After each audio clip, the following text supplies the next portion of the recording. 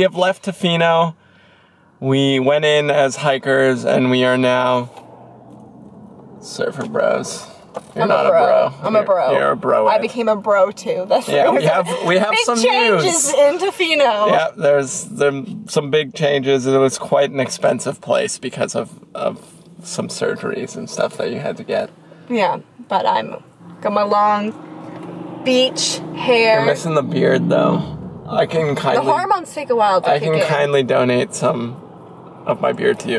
Anyways, we are a little bit past Port Alberni, left Tofino today, and we are at this ancient cedar forest that we're gonna go check out for a little bit. Mostly just a driving day because we're gonna head to Victoria.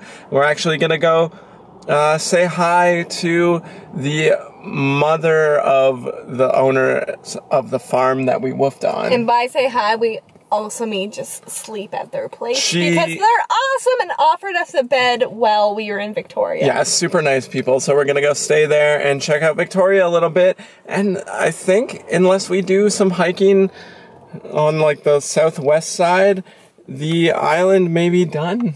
We may be soon. We may closing be- the Canadian chapter of this book. It's also September. When did that even happen? Leaves. We saw leaves changing as we were driving. Like it's crazy, craziness. Anyways, let's go check out this forest. I hope you. We may not have been the only people who had the idea to visit this today. Just a little busy. So the trail is actually called Cathedral Grove. It's a bit east of Port Alberni and it's an ancient cedar forest, I believe. Yeah, the oldest trees here are up to 800 years old. So they're gonna be massive. And we're already under the canopy and it's super cool in here.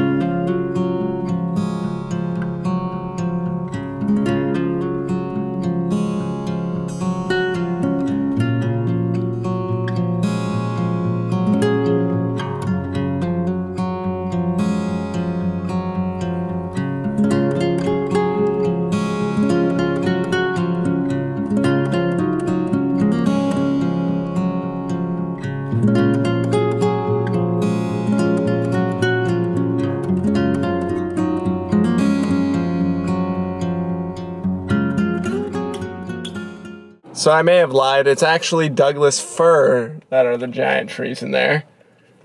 But now we are back at the car having some delicious strawberries. Oh, this one's a lot of money.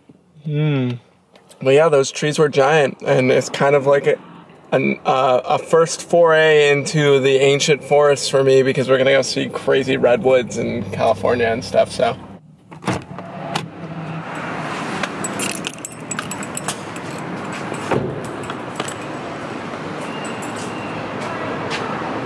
We made it to Victoria. We are in a city again.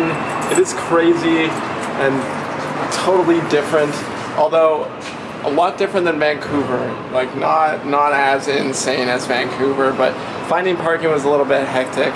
Luckily, unlike Vancouver as well, we found totally reasonable parking, aka free because it's after 6 p.m. just about. So we're gonna go walk around, we're gonna explore. There's a MEC here. We're gonna go to chapters too, and just have a bit of a, a metropolitan night as a break from uh, the, the beaches of Tofino. I'd still rather be on the beaches, but this is pretty cool too.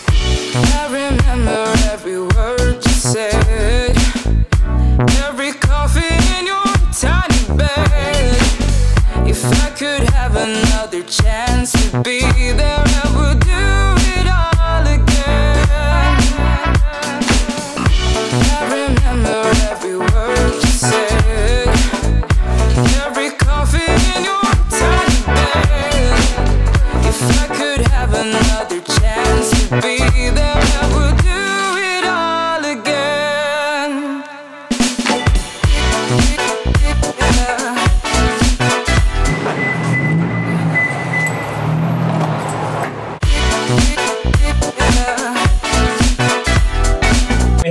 amazing sleep last night because we stayed with Wendy, who is the mother of the owners of the farm that we woofed on in Rossland, BC about a month ago. The world's the most best. generous person The best. ever. We we stayed in her beautiful home, had like a shower this morning and feel super refreshed. Already had our morning coffee, so we're feeling like energetic. We were talking last me, night, and we realized that last night was our first time staying in a house, like just somewhere with a roof Like a proper roof over our heads. in three months. It's In- been three months since we just slept in a bed, a regular bed in a house. So, if that's any indication on how good we're feeling today, then We're feeling alive. yeah, we're feeling we're feeling alive and we are exploring Victoria today. I have a lot of energy now. This is what happens when you get both sleep and caffeine. I know, usually it's one or the other because caffeine equals sleep. We're at Douglas Mountain right now, and the non lazy people hike up it, and the lazy people. After a nice big Tim Hortons breakfast and some ketchup chips that I didn't have, we drove up Douglas Mountain. And our justification is that we have a lot of stuff to see today, so we don't have time to hike up this paved path to the top of the mountain. But let's go see this view and let's get the day started. One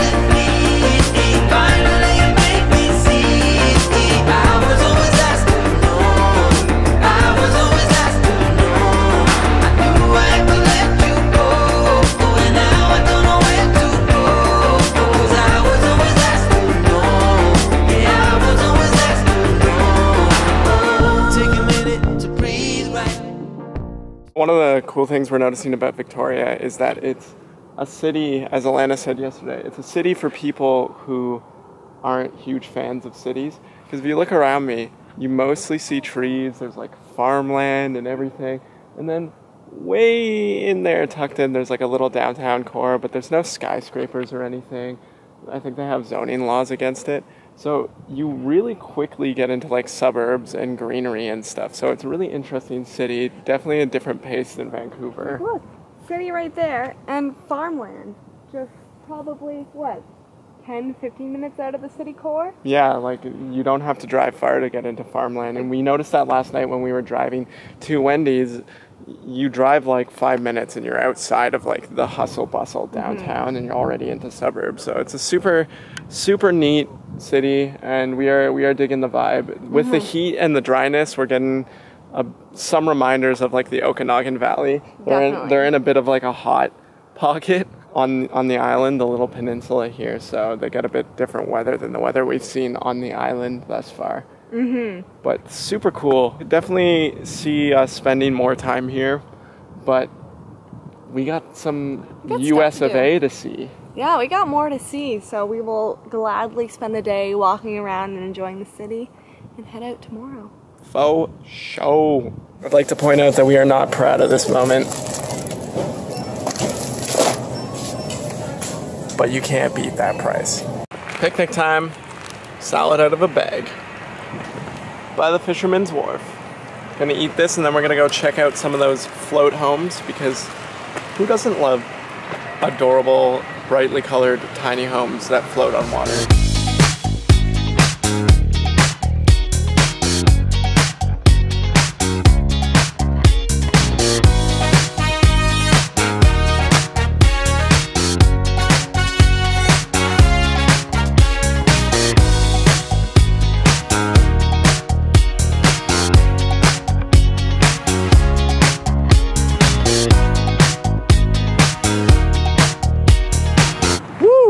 Through things.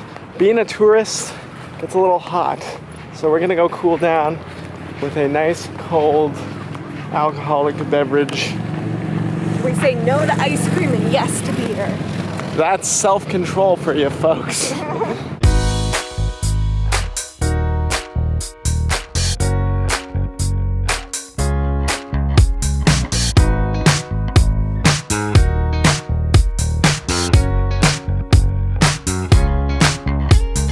Yeah, self control. Whole ice cream thing. So we went to one brewery, Driftwood Brewery, and just kind of got a rapid fire flight of beer. We just split it. Then we were walking around and decided that the other brewery didn't quite tickle our fancy, but there was like this gourmet ice cream shop called Parachute. Batch ice cream. And they had like super weird flavors like uh, lychee, Black. black tea. tea. They had a matcha one. They had They had a blood orange chocolate one. We settled on a pint of rhubarb crumble, which was oh my gosh. it made us crumble at the knees. It, was that it good. did. I it was the best ice cream I've ever had. It was so amazing. good. There was a vintage boat show thingy majig going on tonight. We're gonna go check that out, see what that's all about, and hang out in the nightlife of Victoria. There's beautiful lights everywhere that we started seeing last night, but we didn't want to get to Wendy's place too late, so we headed there before it got really beautiful. So tonight we're gonna hang out in the city and see some more sights. And I hope that you guys are still watching and you want to join us on this downtown venture. What were you gonna call this episode? Because we're seeing Victoria so fast. Mark Nolana's rapid fire sightseeing of Victoria Day. Tell me more like does he ever got Carry on. Gentlemen, welcome. Hi, how are you? Good. And if you wouldn't mind sitting right here, sir, with your knees facing the audience, that would be just perfect. Right on. Push their backs, lift up their bums, please. Very. That's number one. Here we go. That's number two. That's number three. Go. Go. And